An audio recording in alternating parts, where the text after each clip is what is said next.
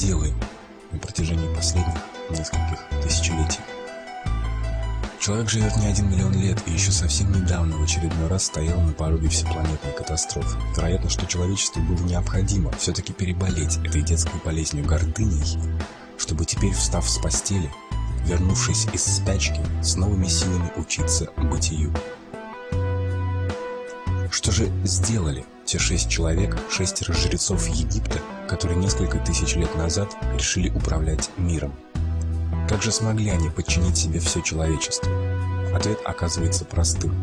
Они тогда впервые предложили человеку религию. Рассказали ему, что и как нужно делать, чтобы отблагодарить Творца за предоставленное. Они создали современную систему жизнеобеспечения человека. После всем известного террористического акта в Москве одним из чиновников была названа основная причина терроризма – религиозный фанатизм. Интересен факт, что религия, называемая у нас православием, считается государственной религией. Несколько сект мирового масштаба под общим названием христианство владеют умами и действиями миллиардов людей. Нигде в новостях вы не найдете осуждения или хотя бы сарказма по отношению к деятелям религии. Напротив, события этого странного, бессмысленно-ритуального мира освещаются как нечто особенное, важное. Меж тем именно Библия – виновница того, что происходит до сих пор в мире. Не первоисточники, не учение Христа, а тот текст, который был изменен в угоду власти всех освященных историй периодов. Ни для кого не секрет, как насильно была крещена Русь. Братоубийца князь Владимир, выбирая из трех предложенных религий, остановился на христианстве, ибо в нем была и до сих пор есть фраза «всякая власть от Бога». Но так ли это? Подложность некоторых церковных фраз очевидна. К примеру, Христа называют единородным. Это должно по сути означать, что кроме Иисуса у Творца более нет сыновей. Но разве Адам не относится к сыновьям Бога?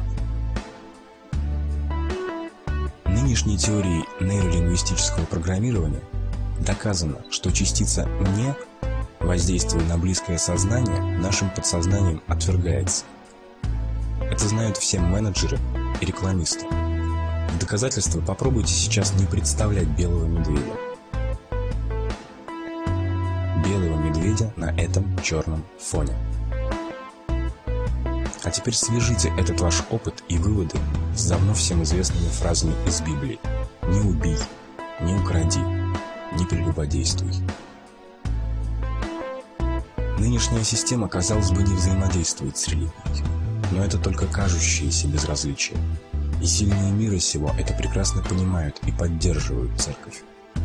Даже в недавние социалистические времена, спустив пар народа в начале прошлого века, впоследствии церковь была освобождена от всех налогов. Система, равно как ее создательница религия, борются за место под солнцем. Методы и средства были во все времена разные, но суть осталась. Неугодных изживают примеру, Майкл Джексон, написав и показав всему миру свою песню «Земли», вызывавшую у простого человека мысль «А туда ли мы идем?», тут же подвергся чудовищной клевете, очернившей его по всему миру. Как иначе было сбить популярность его клипа? Помните, его тогда сразу перестали показывать и по Вива, и по другим всевозможным музыкальным каналам. Коперник, Жанна Дарк, Столыпин – этот ряд имен вы можете продолжить и самостоятельно.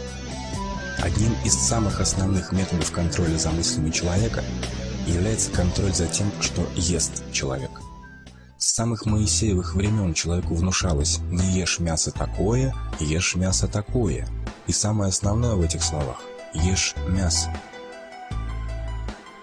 И несмотря на то, что младенца к мясным пюре приучают, несмотря на то, что человеческий организм по всем видимым и невидимым глазу факторам явно не приспособлен для охоты, это и отсутствие вдающихся клыков и когтей, и горизонтально двигающиеся челюсти для перемалывания пищи, и длинный кишечник, и щелочная среда слюны, да много чего. Несмотря на все эти факторы, подавляющее большинство людей мясо употребляют – когда же произошел переход для нашего населения на мясной тип пищи, такой неестественный для человека? Ответ – при крещении Руси. Князь Владимир издал указ заливать расплавленный свинец в рот вегетарианцев. Мозг современного человека, по различающимся данным ученых, способен использовать от 2 до 10% от своей мощности. Это связано прежде всего именно с пищей, хоть мясо и не является единственным тормозящим фактором. Даже эти оставшиеся от полноценной работы в лучшем случае 10% постоянно перегружаются пустой информацией, цветной рекламой о том, какое лекарство нужно купить сегодня, чтобы полноценно работал желудок завтра, чем нужно красить волосы, чтобы быть красивой, и за кого голосовать, чтобы жить счастливо. Заторможенность мысли позволяет управлять человеком так, как вздумается тому, кто решил им управлять. Мы с вами до сего момента в подавляющем большинстве биороботы. Мы выполняем некоторую работу для системы. Кто-то возит еду потребителю, кто-то ее изготавливает, кто-то изобретает приспособления для кажущегося облегчения жизни людей. Мы зарабатываем деньги, чтобы есть и жить. Коэффициент полезного действия современной системы жизнеобеспечения человечества колеблется от 9 до 13%. Это означает, что 9 из 10 наших человека-часов мы отдаем лишь на то, чтобы поддержать ее, современную систему жизнеобеспечения. Вместо того, чтобы выйти из дома и сорвать яблоко с яблони, мы вынуждены просыпаться в определенное время, тратить 2 часа на дорогу, лепить пельмени 8 часов, чтобы иметь возможность получить за эту лепку деньги, и уже на эти деньги устраивать шоппинг, при этом потратив часть на ту же дорогу, на оплату приготовления пищи, за жилье в конце концов под сенью городского смрада. Времени на жизнь, как таковую, у человека совсем не остается. Система веками сгоняла человека в кучи, в города, ибо общей массой легче управлять. Поставленный в безвыходное положение, при отсутствии собственной яблони, человек вынужден идти на поводу у системы, работать, чтобы иметь возможность питаться и кормить детей. И чем питаться? Безвкусными овощами и фруктами из магазинов, выращенными вообще не для человека. Они выросли для денег, такие румяные и сочные на вид.